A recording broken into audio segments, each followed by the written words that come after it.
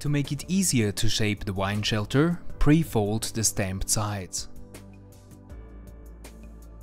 To fix the tree shelter on the support stake, you can press in the stampings at the edges and push the cane into the openings created.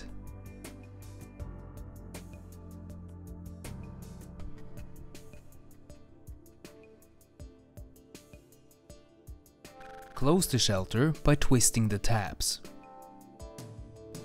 Patented ventilation holes can be pushed in. Thanks to the special stamping, even if herbicides are applied, it's not possible for spray to reach the protected plant.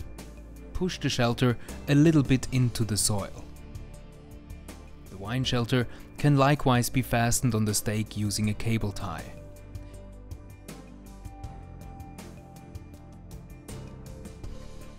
The high light permeability of Witasek shelters helps create healthy and vigorous plants.